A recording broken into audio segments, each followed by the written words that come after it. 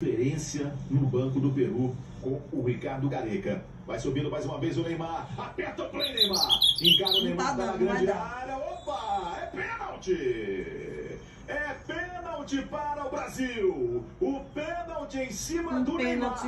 Ele chamou o disfarçar. pênalti. Ele chamou o pênalti, chegou o tap ali para cima do Neymar. E o pênalti está marcado para o Brasil.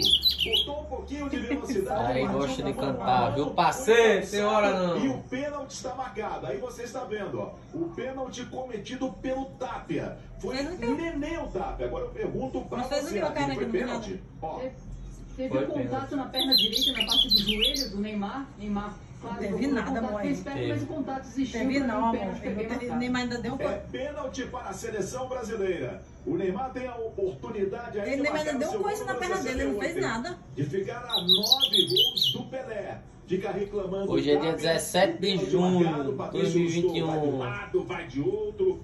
Pega O gogó aí pra vocês de noite o aí. E tem a da possibilidade do Brasil seleção marcar o e segundo gol azulão nesse início, cantando. nesse início de segundo tempo com 15 minutos do Passou o segundo tempo. replay aí. Eu não vi que foi. Abraço.